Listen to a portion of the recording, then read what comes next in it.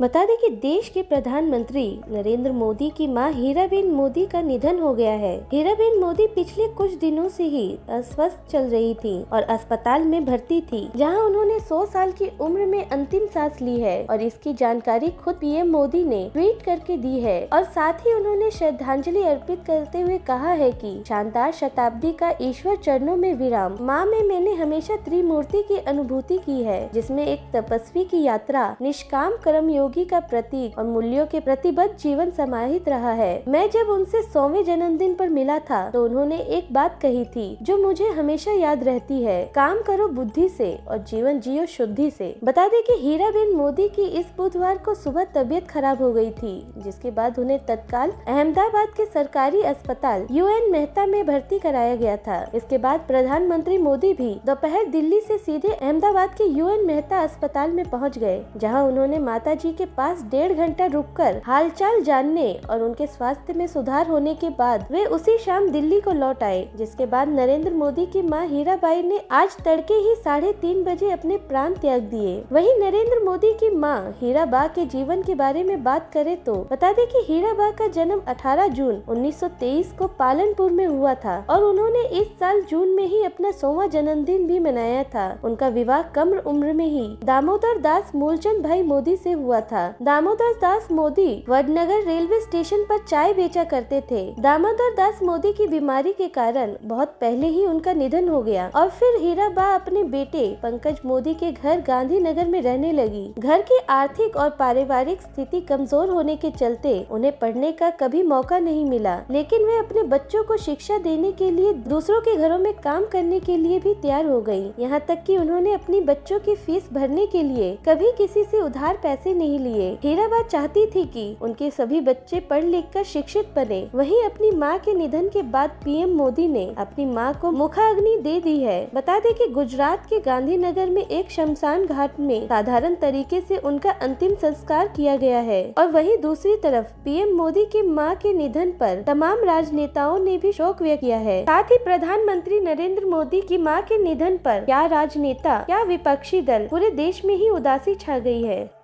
हमारे इस वीडियो पर आप भी अपनी राय हमें कमेंट कर कर ज़रूर बताएँ।